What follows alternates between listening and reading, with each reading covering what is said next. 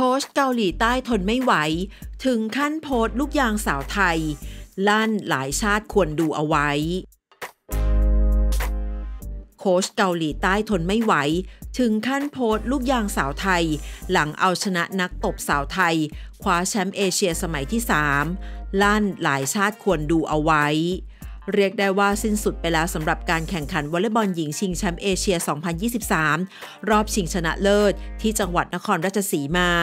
ซึ่งทีมวอลเลย์บอลหญิงทีมชาติไทย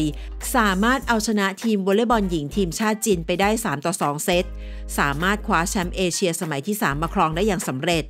ทั้งนี้ก่อนเกมดังกล่าว ทีมวอลเลย์บอลหญิงทีมชาติไทย อยู่ในอันดับที่ 14 ของโลก มี 200.31 คะแนน และหลังจากเกมที่ชนะทีมวอลเลย์บอลหญิงทีมชาติจีนในครั้งนี้ทำให้ทีมลูกยางสาวไทย แม้จะอยู่ในอันดับที่ 14 ของโลกเท่าเดิม แต่แต้มขยับพุ่งสูงถึง 210.94 คะแนน ล่าสุด โค้ชทีมวอลเลย์บอลหญิงทีมชาติเกาหลีใต้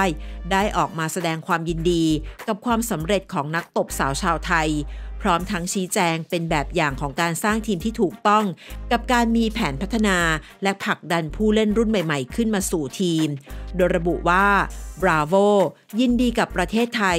สำหรับผลการแข่งขัน และแนวทางที่ทำให้มาถึงในจุดนี้ได้สำเร็จ มันเป็นกระจกสะท้อนที่ดีสำหรับพวกเราทุกคนทำให้ได้เห็น ขอแสดงความยินดีกับทุกคน และต้องชื่นชมแฟนๆชาวไทยที่ได้สร้างบรรยากาศที่เหลือเชื่อ มันน่าทึ่งตลอดทัวร์นาเมนต์นี้